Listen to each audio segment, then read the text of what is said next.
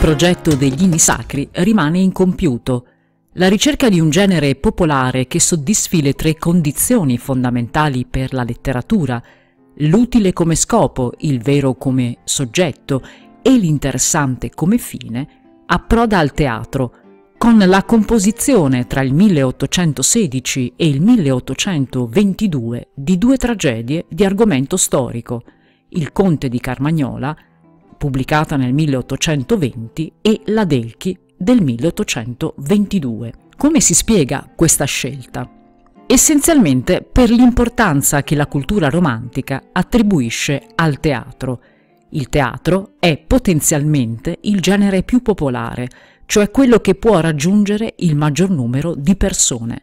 Mentre i versi lirici ed epici devono essere letti, quelli tragici possono essere visti e ascoltati sulla scena.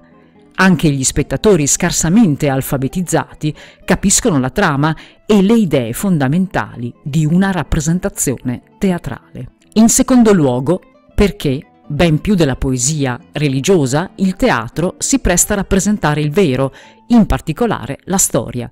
Sul modello dei grandi drammaturghi tedeschi, suoi contemporanei, che avevano già scelto come tema delle loro tragedie le gesta di eroi non antichi ma moderni, Manzoni scrive due tragedie di argomento storico, mettendo in versi la storia nazionale, quella dell'età longobarda nella Delchi e quella veneziana del XV secolo nel Conte di Carmagnola. Tuttavia, l'obiettivo di un'arte autenticamente vera e popolare appare ancora molto distante, quello della Delchi e del Conte di Carmagnola è un teatro in versi, che tra l'altro prevede anche l'intervento di un coro, pertanto la lingua adottata si muove ancora sui registri sostenuti e solenni e risulta distante dall'italiano d'uso.